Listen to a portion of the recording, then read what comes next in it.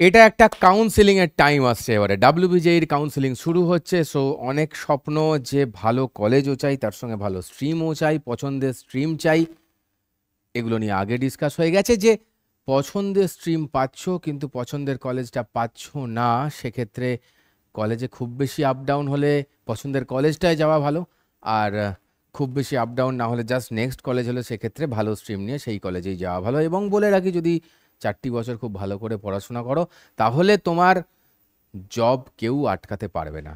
সত্যিই তোমার ভালোভাবে কোনো একটা কোম্পানিতে জব হবে।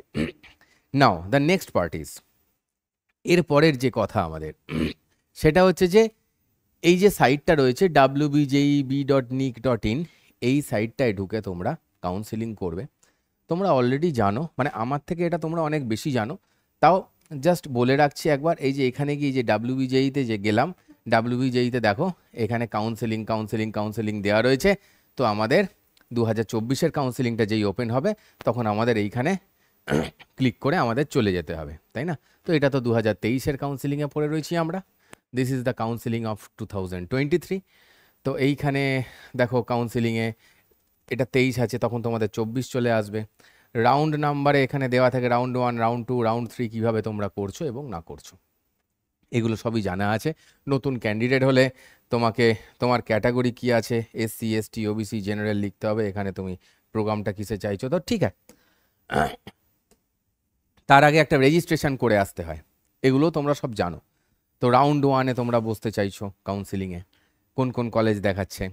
তো এইভাবে তোমরা কাউন্সিলিং করতে জানো, সেটা আমি জানি খুব ভালোভাবে। যেটা মেনলি বলার এখানে, যে কাউন্সিলিংটা করার সময় রেজিস্টার করে কীভাবে এগোতে হয় দ্যাট ইউ নো এবার সেইটা করার সময় যখন তোমাদের ই টিএফডাব্লিউ তাই না? কোটা আসে, তারপরে আমাদের যেটা ইকোনমিক্যালি যে কোটাটা আছে, সেইটা আসে, সেইগুলোর ক্ষেত্রে কিন্তু ডকুমেন্ট খুব নেসেসারি অনেকে আছো যাদের ডোমেসাইল নেই মানে যারা বাইরে স্টেট থেকে এক্সাম দিচ্ছ, তারা কিন্তু এমনি কয়েকটা কলেজ আছে লাইক গভর্নমেন্ট কলেজ আছে, কিছু Kalyani north Bengal government college এগুলোতে তোমরা এমনি অ্যাপ্লাই করতে পারবে না। তো ডোমিসাইল থাকলে পারবে। তো ডোমিসাইলের সার্টিফিকেট যদি তোমার কাছে না থাকে, সেক্ষেত্রে ওইগুলো বাদ দিয়েই তোমরা এগোতে থাকবে। ঠিক আছে? আর যারা এখানেরই বাসিন্দা, তাদের কোনো সমস্যা নেই, সব জায়গায় অ্যাপ্লাই করতে পারছ। নেক্সট আসছে টিএফডাব্লিউ এবার টিএফডাব্লিউ করার সময় তোমাদের একটা জিনিসে খুব ঠান্ডা মাথা রেখে এগোতে হবে। টিএফডাব্লিউ করার সময় একটা জিনিসে খুব মাথাকে একদম ঠান্ডা রেখে এগোতে হবে। স্যার, কি সেটা? তোমার কাছে যদি ডকুমেন্ট না থাকে, তাহলে এখনও আগামী দুদিনের মধ্যে তাড়াতাড়ি করে গিয়ে ডকুমেন্টটা বানিয়ে আনো টিএফডাব্লিউর জন্য। সেই ডকুমেন্ট না থাকলে কিন্তু তুমি টিএফডাব্লিউর আন্ডারে সিট পাবে না। এবং টিএফডাব্লিউ দিয়ে তুমি যদি কোনো সিটকে একবার পেয়ে যাও ওখানে অ্যাপ্লাই করে তুমি এলিজিবল হয়ে যাও। তাহলে সেইখানের পরে তুমি আবার জেনারেল কোটাটাকে নিতে পারবে না। তাই যদি একমাত্র টিএফডাব্লিউ সার্টিফিকেট হাতে থাকে, তারপরেই টিএফডাব্লিউতে টিক মারবে। এবং ইকোনমিক্যালি যে কোটাটা রয়েছে, সেইটারও যে আছে টেন পার্সেন্ট যেটা আমাদের ইয়ে তো সেইটার জন্যও, সেইটার জন্য ডকুমেন্ট ইজ নেসেসারি ডকুমেন্ট হাতে থাকলে তবেই পা বাড়াবে। ঠিক আছে? ডকুমেন্ট হাতে থাকলে তবেই পা বাড়াবে। না থাকলে কিন্তু হবে না। যদি না থেকে থাকে এখনও যেটুকুন সময় আছে, খুব তাড়াতাড়ি সেই ডকুমেন্ট বের করে আনো। নেক্সট পয়েন্ট যেটা আসছে, সেটা হচ্ছে যে, আমরা কাউন্সিলিং করার সময় তোমার যে পছন্দের কলেজগুলো রয়েছে, ধরো এটা আমি এই র্যাঙ্কে এইটা আগের বছর এসেছিল, এইটা ভেবে তুমি ওইভাবে দিলে এবং ওটাকেই ফার্স্ট অপশান করলে সেটা করো না। তার আগে আরও বেটার অপশান দুটো তিনটে রেখো। কারণ তুমি রাউন্ড টু রাউন্ড থ্রি যেগুলোকে বলি মপ আপ তো সেইখানে কি হচ্ছে? সেখানে তুমি একটা অপশান থেকে আরেকটা অপশানে যেতে গেলে তোমার কাছে সেই বেটার অপশানটা যদি হয়, তার সম্ভাবনা তোমাকে আগে থেকে দিয়ে রাখতে হবে, না হলে কিন্তু মুশকিল আছে। এই সমস্ত কিছু মাথা খোলা রেখে তোমাকে কাজ করতে হবে, ঠিক আছে বস বোঝাতে পেরেছি এইটুকুন? এইটুকুন জিনিস মাথা ঠান্ডা রেখে বিন্দাসভাবে তোমাকে কাজ করতে হবে।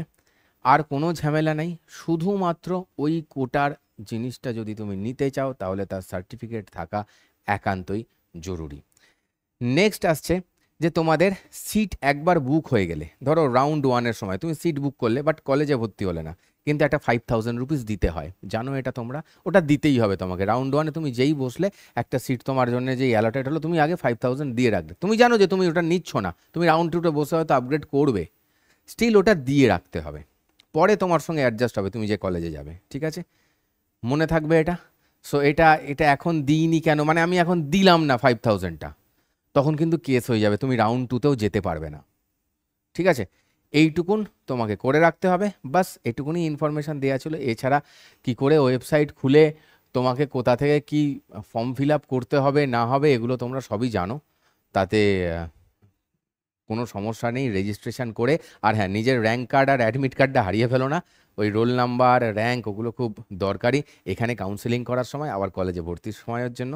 So wish you all the best তো wish you all the best তোমার পছন্দের কলেজ তোমার হয়ে যাক। খুব ভালো কেরিয়ার হোক। Tata good bye